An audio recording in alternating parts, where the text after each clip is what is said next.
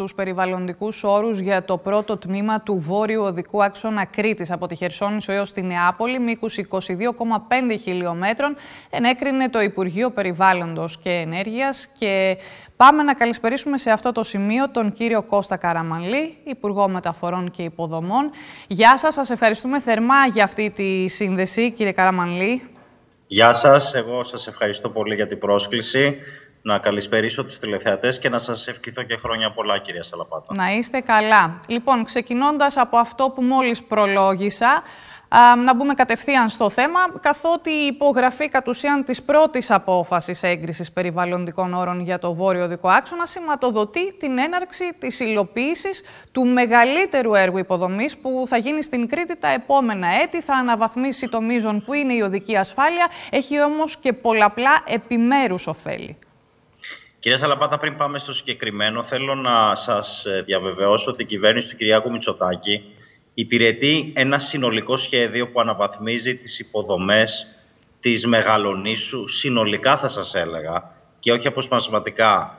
Δεν μιλάμε δηλαδή για έργα χωρίς συνοχή, χωρίς αν θέλετε αρχή, μέση και τέλος. Μιλάμε λοιπόν για ένα σχέδιο που αναδεικνύει την Κρήτη σε, θα σας έλεγα, σε ένα κόμβο mm-hmm. της Ανατολικής Μεσογείου, με ένα σύγχρονο αυτοκινητόδρομο, τον Βόγακ, το οποίο θα, θα μιλήσουμε για τους περιβαλλοντολογικούς όρους και ακριβώς τι σημαίνει αυτό πρακτικά, με ένα σύγχρονο αεροδρόμιο, με αντιπλημμυρικά έργα και με έργα διαχείρισης υδάτινων πόρων, ε, έργα τα οποία, όπως σας είπα και πριν, αναβαθμίζουν συνολικά και την οικονομία την εθνική, αλλά κυρίως, άμα θέλετε, και την οικονομία τη τοπική της Κρήτης, και θα οδηγήσουν την Κρήτη σε μια άλλη πορεία τα επόμενα χρόνια. Πάμε στην περιβαλλοντική απόφαση. Πρακτικά τι έγινε; Το Υπουργείο Περιβάλλοντος ενέκρινε τους όρους, τους περιβαλλοντικούς, για το πρώτο τμήμα του βορείου οδικού άξονα, όπως πολύ σωστά είπατε, από τη Χερσόνησο ε, ε, ως την ε, Νεάπολη, που είναι μήκος 22,5 χιλιόμετρα. Τι σημαίνει αυτό, ότι η Κρήτη οριστικά και αμετάκλητα αρχίζει να αποκτά τον αυτοκινητόδρομο που της αξίζει. Πλέον βρισκόμαστε στο τελικό στάδιο. Υπολογίζουμε ότι μέχρι το τέλος του έτους ε, θα έχουμε αγωνιστική διαδικασία με την υποβολή των δεσμευτικών προσφορών. Η ανακήρυξη λοιπόν προσωρινού μειοδότη για το έργο αναμένεται στα τέλη Ιανουαρίου. Είμαστε λοιπόν μέσα στα χρονοδιαγράμματα. Η σύμβαση του έργου θα υπογραφεί όπως είχαμε παρουσιάσει και παρουσιάσει ο Πρωθυπουργός εντός του τρίτου τρίμηνου του 2022 για το συγκεκριμένο κομμάτι Μάλιστα. Χερσόνησος Νεάπολη. Λοιπόν, κύριε Καραμαλή, να δούμε όμως λίγο συνοπτικά πώς φτάσαμε σε αυτό το σημείο μετά από τόσα χρόνια. Πριν σας πω τι ακριβώς έχουμε κάνει για να φτάσουμε εδώ, θέλω να σας πω, αν μου επιτρέπετε, πολύ σύντομα τι παραλάβαμε. Όπως έχω πει και άλλες φορές, παραλάβαμε μία απλή μολυβιά στο χάρτη. Ένα έργο, θα σας έλεγα, χωρίς συγκεκριμένο σχέδιο, χωρίς καμία χάραξη, χωρίς πλάνο χρηματοδότησης, με πολύ μικρή, για να μην σας πω, ανύπαρκτη μελετητική πρημότητα. Με λίγες αποσπασματικές παρεμβάσεις, αν θέλετε, διάσπαρτες κατά το μήκος του άξονα. Ειλικρινά δεν έχω καμία διάθεση να μην ταινίσω την όποια συμβολή της προηγούμενης κυβέρνησης. Όμως η πραγματικότητα είναι ότι το έργο που πλέον προχωράει στήσαμε σχεδόν από το μηδέν. Και κάναμε άλματα, θα σας έλεγα, σε όλα τα επίπεδα, εξασφαλίζοντας τα τρία πιο βασικά πράγματα, τις τρεις πιο βασικές προϋποθέσεις για ένα τόσο μεγάλο έργο. Μην ξεχνάτε ότι ο ΒΟΑΚ, κυρία Σαλαπάτα, είναι το μεγαλύτερο δημόσιο έργο αυτοκινητοδρόμου που γίνεται αυτή τη στιγμή σε επίπεδο Ευρωπαϊκής Ένωσης. Για να το πετύχουμε αυτό τι χρειαζόμασταν, χρήματα, χρηματοδότηση, χάραξη, δηλαδή από πού περνάει ο δρόμος και ένα συγκεκριμένο χρονοδιάγραμμα. Ε, θεωρώ ότι ίσως ποτέ να μην υπήρχε ξανά τόσο αφοσίωση στην επίτευξη αυτού του έργου αυτό ίσως ξέρετε να συνέβη γιατί ποτέ ξανά ένας πρωθυπουργός δεν το είχε πιστέψει αυτό το έργο όπως ο Κυριάκος Μητσοτάκης. Επιτρέψτε μου λίγο, Υπουργέ, να επιμείνω στο επίμαχο τμήμα, Χερσόνησος Νεάπολη δηλαδή, καθότι ο Δήμος Χερσονήσου και το ΤΕΤΑΚ αλλά και η Περιφερεια Κρήτης υπογραμμίζουν εδώ και πάρα πολύ καιρό ως ένα ζήτημα κομβικής σημασίας τη διαχείριση των ομβρίων υδάτων του Βόρειου Οδικού Άξονα Κρήτης. Κοιτάξτε, εμείς σε όποια σημεία υπάρχουν τέτοια ζητήματα, στο Υπουργείο Υποδομών είμαστε δίπλα και ακούμε τους τοπικούς Αυτό που θέλω να τους διαβεβαιωσω είναι ότι δεν υπάρχει περίπτωση σε μια εποχή που η Κρήτη έχει πληγωθεί σε τόσες πολλές περιπτώσεις από τέτοιες φυσικές να κάνουμε το παραμικρό χωρίς να θωρακίσουμε, πραγματικά να θωρακίσουμε αντιπλημμυρικά ε, το έργο αυτό και να θωρακίσουμε αντιπλημμυρικά και τις περιοχές, τις περιοχές αν θέλετε, από τις οποίες περνάει το έργο. Οπότε εδώ είμαστε σε όλα αυτά τα ζητήματα να βρούμε λύσεις. Οπότε μετά το έργο Χερσόνησος Νεάπολη, ποια τμήματα του βόρειου οδικού άξονα ακολουθούν; Αρχή να σας πω ότι πάμε το πρώτο τμήμα στο Χανιά Ηράκλειο. Μιλάμε για σχεδόν 157 χιλιόμετρα. Αυτό είναι ένα έργο το οποίο θα γίνει με τη διαδικασία της σύμβασης παραχώρησης. Περιμένουμε τη μελέτη περιβαλλοντολογικών επιπτώσεων και σε αυτό το έργο στο πρώτο τρίμηνο, δηλαδή στις αρχές του 2022. Η εκτίμησή μας είναι ότι θα έχουμε δεσμευτικές ε, το καλοκαίρι. Αυτό το έργο είναι ένα έργο 1,5 δις και είναι, αν θέλετε, το μεγαλύτερο κομμάτι του έργου, αν θέλετε, και ένα πολύ σημαντικό κομμάτι, αφού συνδέει τα Χανιά με το Ηράκλειο. Να σας πω όμως εδώ ότι έχουμε και το Κίσαμο Χανιά, που είναι και αυτό 38 χιλιόμετρα. Υπολογίζουμε, γιατί όπως σας είπα θέλουμε να δίνουμε χρονοδιαγράμματα και να κρινόμαστε από αυτά, να έχουμε εκεί αδειοδότηση περιβαλλοντολογική στο τέλος του καλοκαιριού. Να σας πω εδώ ότι η συνεργασία μας με το Υπουργείο Περιβάλλοντος είναι εξαιρετική, διότι τόσο ο κύριος Σταγαράς, που είναι ο αρμόδιος υφυπουργός, όσο και ο κύριος Κρέκας, έχουν σκύψει και έχουν δώσει οδηγίες στις υπηρεσίες τους να έχουν τον ΒΟΑΚ στην απόλυτη προτεραιότητα ώστε να παίρνουμε γρήγορα τις αδειοδοτήσεις.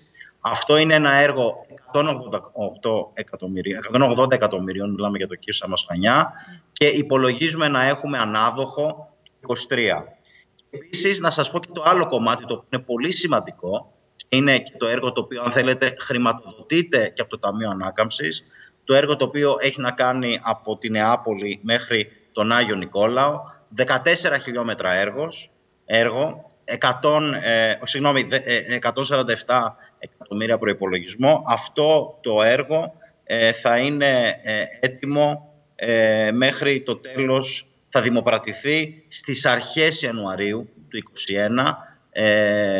μέσα δηλαδή στον Ιανουάριο-Φεβρουάριο θα έχουμε δημοπρατήσει το έργο και σε έξι μήνες στόχος είναι να το συμβασιοποιήσουμε. Τι σημαίνει αυτό, αλλά σημαίνει ότι στο σημείο αυτό θέλουμε να δούμε μπουλντόζες, δηλαδή να δούμε κίνηση του έργου μετά το καλοκαίρι. Τώρα, πάμε. Αεροδρόμιο Καστελίου.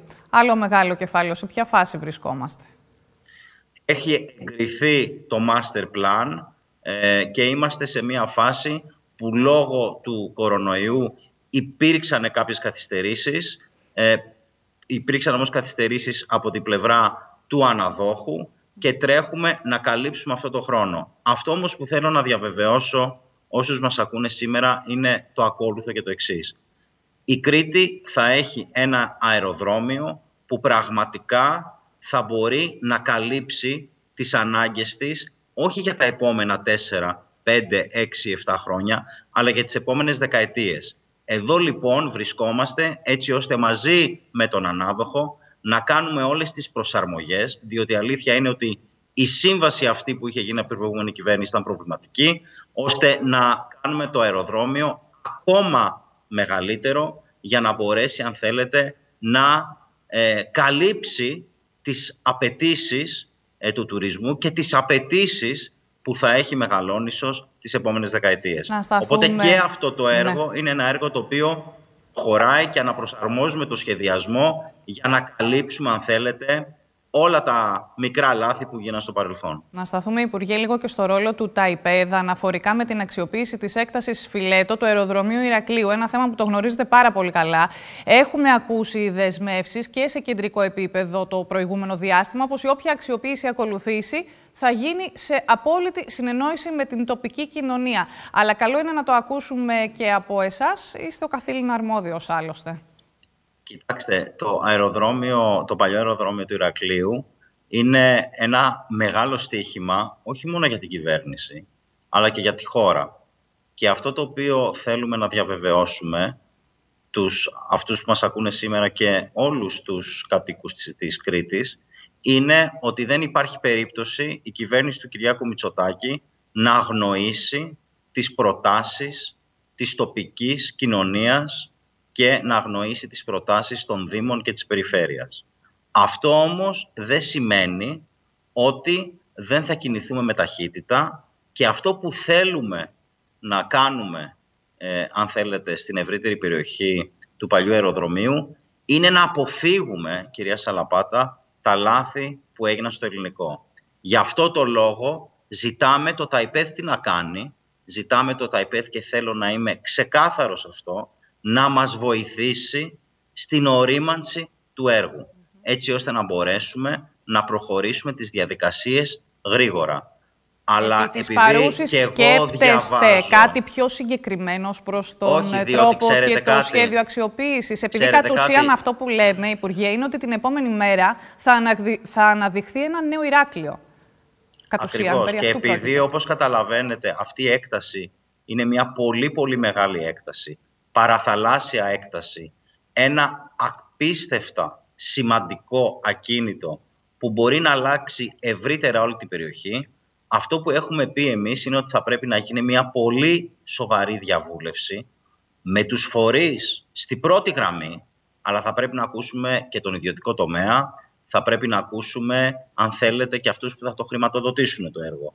Επομένως, εμείς βρισκόμαστε εντός των χρονοδιαγραμμάτων. Όπως ξέρετε, όλο ε, το έργο αυτό στο Καστέλι για να γίνει προϋποθέτει συγκεκριμένα βήματα που πρέπει να γίνουν στο Καζαντζάκης, διότι η χρηματοδότηση του Καστελίου έχει μερικά ορόσημα για το Καζαντζάκης και θέλω να διαβεβαιώσω όσους και όσες μας ακούνε ότι εμείς θα κινηθούμε σεβόμενοι πάντα και τις ευαισθησίες αλλά και τις προτάσεις τις οποίες θα κάνει η τοπική κοινωνία.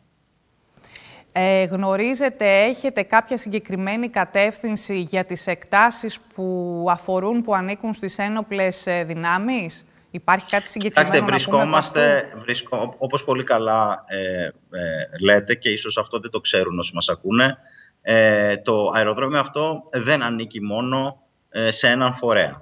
Υπάρχουν αρκετοί φορείς που έχουν εκτάσεις. Είμαστε σε απόλυτη συνεννόηση με το Υπουργείο Εθνικής Αμήνας για να ξεπεράσουμε όλα αυτά τα ζητήματα.